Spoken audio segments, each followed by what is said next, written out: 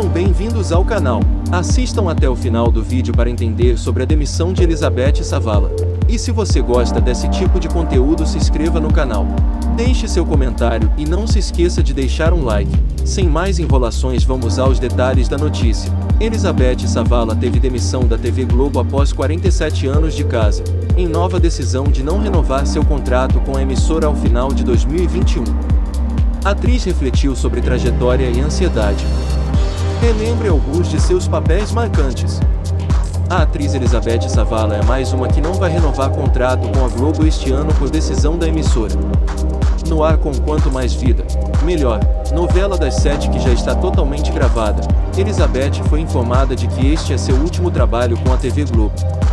De acordo com o contrato da atriz está prestes a vencer após 47 anos e a emissora decidiu não renová-lo, em decisão semelhante ao de Glória Menezes e Tarcísio Meira, uma das perdas dos brasileiros para o Covid, em 2020. A gigante da TV brasileira tem optado por alterar os contratos com suas principais atrizes, por produção ao invés de regime de contratação CLT. Ainda não se sabe, no entanto, se será esse o caso de Elizabeth Savala.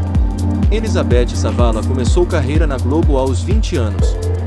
Enquanto Quanto Mais Vida, Melhor, totalmente gravada por conta da pandemia da Covid-19, é o último papel de Elizabeth Savala na Globo, interpretando a personagem Neda. A atriz entrou na emissora em 1975, quando estava na casa dos 20 anos. Naquele ano, Elizabeth entrou no elenco da novela Gabriela, como a personagem Malvina. A novela baseada no romance de Jorge Amado lhe rendeu elogios e representa até hoje um dos papéis mais marcantes de sua trajetória de quase meio século na Globo. Outros papéis memoráveis da atriz foram em títulos como O Astro 1977, 4x4 1994, Chocolate com Pimenta 2003, Alma Gêmea 2005, Amor à Vida 2013, Eta Mundo Bom 2016, Pega Pega 2017, entre outros. Como Neda, Elizabeth Savala fica no ar até 2022, e depois seu destino é incerto. Elizabeth Savala reflete, não sofra pelo que já passou. A atriz costuma apresentar resiliência com as adversidades da vida. Em sua conta do Instagram, Elizabeth Savala costuma compartilhar uma citação reflexiva com os seguidores. Há quatro dias, não foi diferente. Naal sofre antecipadamente pelo que ainda não ocorreu, nem pelo que já passou.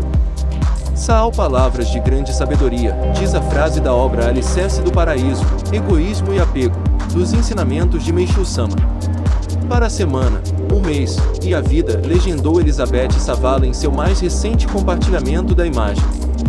Já há dois dias, a atriz refletiu sobre sua trajetória na Globo ao postar um hashtag TBT dos tempos de novela e alguns amigos finados.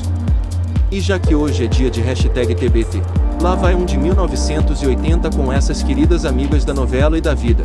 E ao centro nossa querida Mila Moreira que nos deixou, fisicamente, por esses dias. Quantas saudades, nos divertimos muito nesse trabalho, escreveu ela. Lumas e Paetês, de Cassiano Gabis Mendes e com direção do Gonzaga Blota, Mário Márcio Bandar, todos lá no mundo espiritual, se é pra ser TBT que seja pra valer. Saudades, lembrou.